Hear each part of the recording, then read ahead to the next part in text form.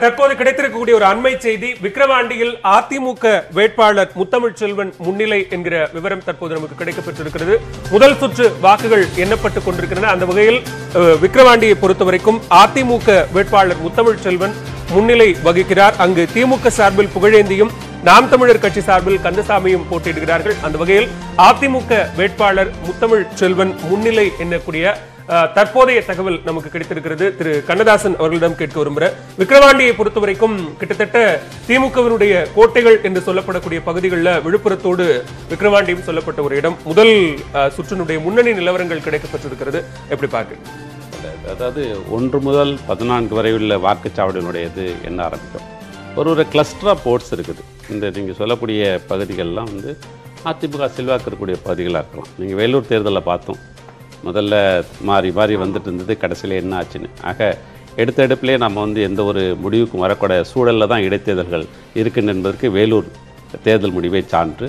அந்த அடிப்படையில் அடுத்த சுற்றுகளில் நிச்சயமாக திராவிட முன்னேற்றங்கள் முன்னிலை பெற்று நாங்கள் வெற்றி பெறுகிற நம்பிக்கை எங்களுக்கு இருக்கிறது.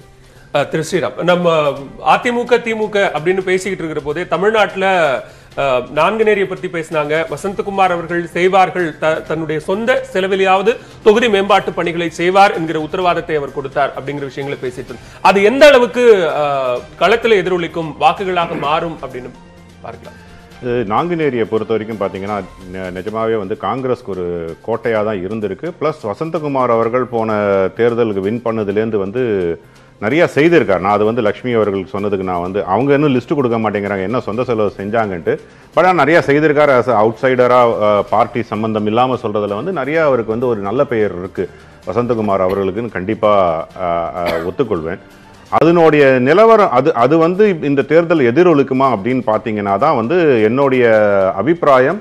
இந்த ரெண்டு தொகுதியிலையுமே வந்து ஒரு அதிமுகவுக்கு ஒரு சாதகமான நிலை இருக்கு. ஆர் கட்டாயமும் இருக்கு. நான் சாதகத்தோட இல்லை நான் கட்டாயத்தையும் சொல்றேன். ஏன் வந்து விக்ரவாண்டிலையும் சரி நாங்குநேரிலையும் அதிமுக வின் பண்ண வேண்டும் அப்படின்ற ஒரு கட்டாயம் இருக்கு அப்படின்னு சொன்னீங்கன்னா வந்து ஒரு பர்செப்ஷன் கிரியேஷன் அது வந்து மக்களுக்கு வந்து ஒரு அதிமுக மேலே நம்பிக்கை இருக்குன்ற ஒரு பர்செப்ஷனை கிரியேட் பண்ண வேண்டிய ச நிர்பந்தத்தில் அதிமுக இருக்கிறதுனால இது வந்து இந்த தேர்தலை வெ- வெற்றி கொண்- கொண்டே ஆக வேண்டும்ன்றது வந்து அவங்களுக்கு ஒரு நிர்பந்தம் இருக்குது விக்ரவாண்டியை பொறுத்த வரைக்கும் பார்த்தீங்கன்னா போன எலெக்ஷனில் கிட்டத்தட்ட பிஎம்கேனுடைய ஓட்டு நாற்பத்தஞ்சாயிரம் ஓட்டு வித்தியாசம். அது வந்து ஒரு பாசிட்டிவாக வந்து ஏடிஎம்கேக்கு வரணும். வந்து அதாவது கூட்டணி கட்சியெல்லாம் சேர்ந்து ஒரே மாதிரி ஓட்டு போட்டிருந்தா கண்டிப்பாக அது விக்ரவாண்டியில் வந்து அதிமுகவுக்கு வ- வர வேண்டிய ஓட்டுகள். அதனால்தான் ஸ்டாலின் அவர்கள் வந்து வ- வன்னியர்களுக்கு வந்து உள் ஒதுக்கீடு கொடுக்கப்படும்.